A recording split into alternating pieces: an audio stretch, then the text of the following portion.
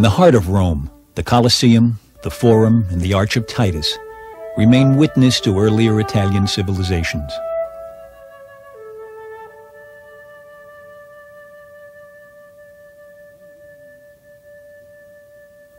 One little known chapter in the history of Italy is that of the 2,000 years of continuing Jewish communal life.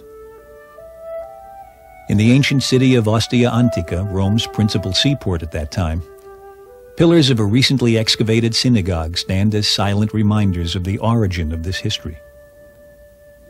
They also stand in contrast to a more recent time in Italy's Jewish experience. Fifty years ago, during World War II, when descendants of these and other Jewish communities who sought refuge in Italy faced the terror and the consequences of the Holocaust.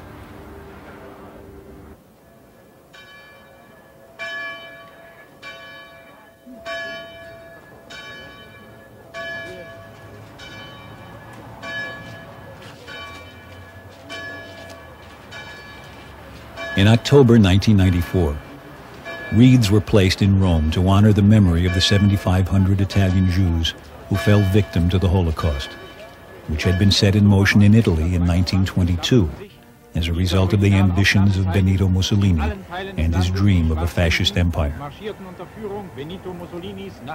Until the passage of the racial laws in 1938, Mussolini frequently stated that anti-Semitism, which was not a significant factor among the Italian people, would not be evidenced as long as the Jewish community allied itself with the philosophy of his fascist government. However, along with most Italians, the 47,000 assimilated Jews watched with increasing alarm the buildup and deployment of his military forces during the 1930s.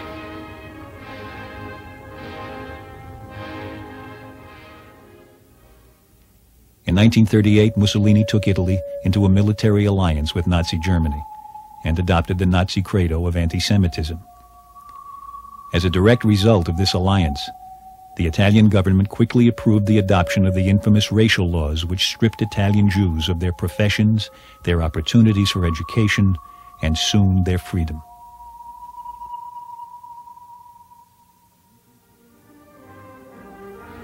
By 1940, Italy, allied with Nazi Germany, was at war. Three years later, Allied forces turned the tide of battle, and from North African bases began the invasion of Italy, which resulted in the immediate downfall of Mussolini. July 10, 1943, Allied troops landed on the beaches of Sicily.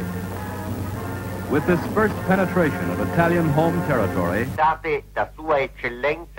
The king has accepted the resignation of His Excellency Benito Mussolini and has nominated head of the government, prime minister, and secretary of state His Excellency the Chief of Staff, Marshal Badoglio. During the 45 days of the Badoglio government, Italian Jews waited in vain for the government to rescind the infamous and largely unpopular racial laws.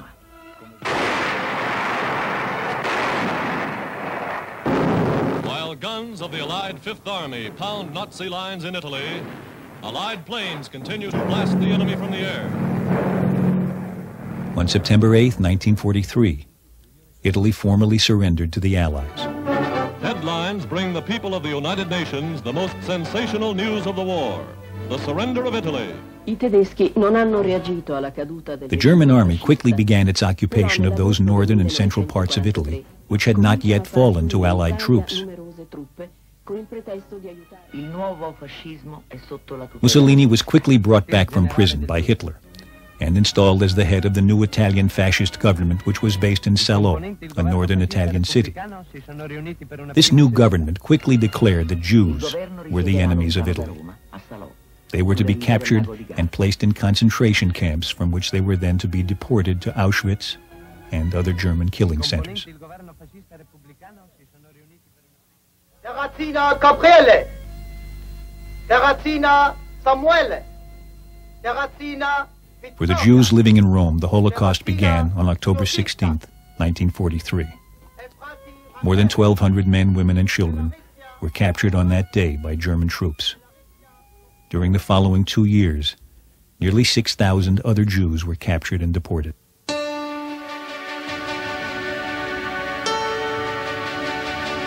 But remarkably, 30,000 Jews, close to 80% of the Jewish population in Italy at that time, managed to evade the Germans and their Italian fascist partners thanks to the help they received from many thousands of fellow Italians.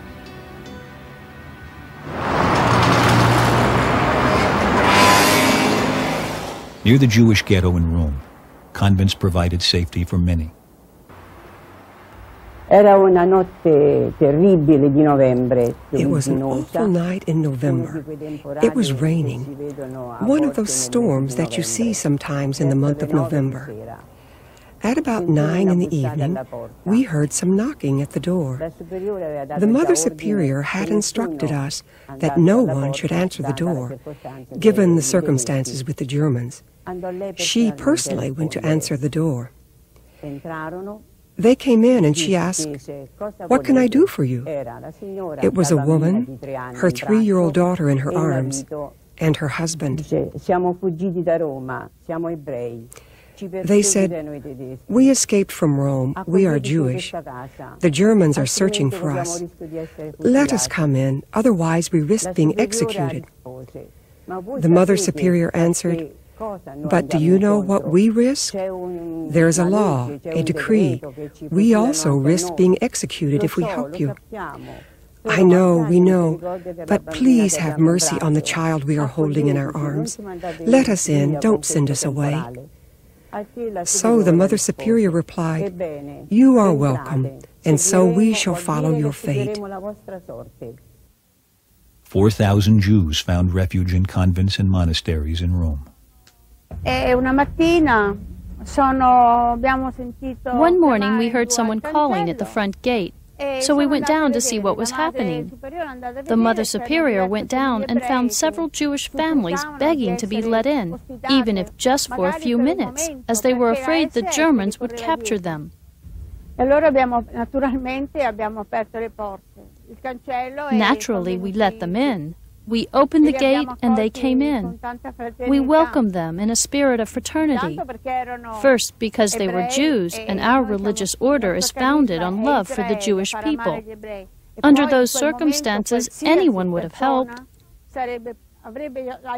One should help those in need, those who are being persecuted. Even if you are not a religious person, you would do it anyway. All you need is to be Christian, to have a little compassion, a little humanity. Assisi, home of the shrine of St. Francis, offered its own refuge. Assisi fu proclamata città ospedaliera. Assisi was proclaimed a hospital city, which not only saved the city, but also the many Jews who had taken refuge in it. Naturally, at the time, I was not taking written notes, but I can confirm that at least 300 Jews came through Assisi.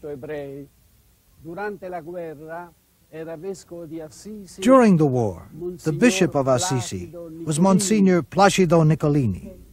Eh, qui era il centro dell'assistenza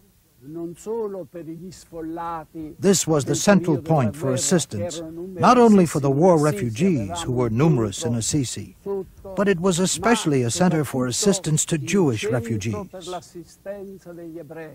I was summoned by him one day in September 1943. He showed me a letter from the Secretary of State of the Vatican instructing us to give all possible assistance to those who were being persecuted, especially the Jews. We not only placed them with false identification papers in convents, but also in private houses and in hotels.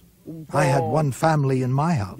There were moments of terror, like when the police came to my house to take me for questioning. So I quickly shut the door to the study and left with the police so that they did not find them. This family then went to seek help from the bishop, and he told them, As you can see, my house is full of refugees, but I still have my bed and my study. From now on, I can sleep in my study on the couch, and you can take my bedroom. L'hanno ottenuti perché noi avevamo la complicità di una piccola tipografia We were able to get the false identification papers with help from a small print shop that prepared identity cards. Agli ebrei davamo nomi di famiglie del sud We gave the Jews typical family names from southern Italy, which was the part of Italy that had already been liberated by the Allies. This way, the police could not cross-check the names. The biggest problem we had was to reproduce the German stamps. In fact, after several failed attempts to do so in nearby cities, we were able to do the job in our own St. Quirico monastery, thanks to some very skilled young Jews and two high-ranking Italian army officers who also had taken refuge there. Then later, thanks to some friends in the city government office, we were able to get our hands on several blank original IDs that just needed to be filled out.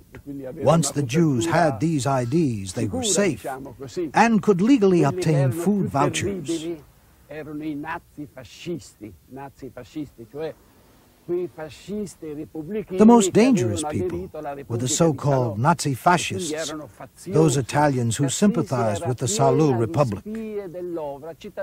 Assisi was teeming with fascist spies, citizens of Assisi who were collaborating with the fascist secret police. It was not only the clergy who helped. In the city of Magenta near Milan, Jewish owners of a small factory asked their plant manager for a place to hide. dunque, prima ci abbiamo pensato dove dovevano andare, dove si poteva nasconderli, ecco. After giving the problem of where to hide them some thought, my husband and brother-in-law decided to take them to our friend's little house in the country. The Mucco family agreed to go there. So traveling at night through snow-covered fields, they got to the house and stayed there a couple months.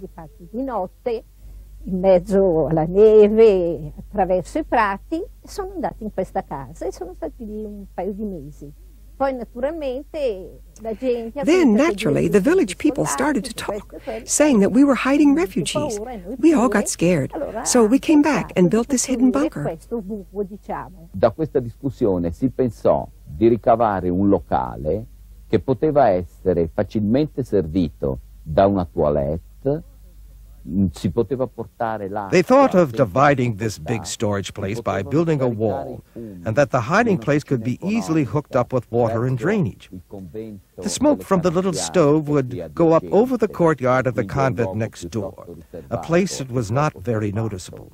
Per cui tutte queste componenti fecero pensare che il rifugio poteva essere sicuro.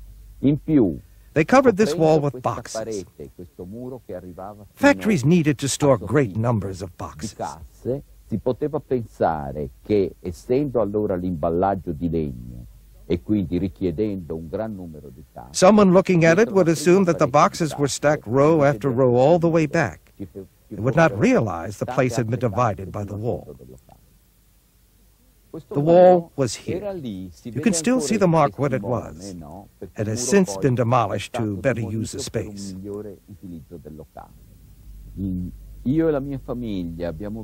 My family and I lived in this room from the end of February 1944. I, I don't remember the exact date. Uh, to the 28th of April 1945. A total of 14 months. Ma perché noi erano tanti anni che eravamo qui ed eravamo molto We did it because we were very close friends with this family. We had known them for years, my aunt especially. But all of us worked in the plant and we were very close friends. We did not worry about the danger. We did what we knew needed to be done, without question.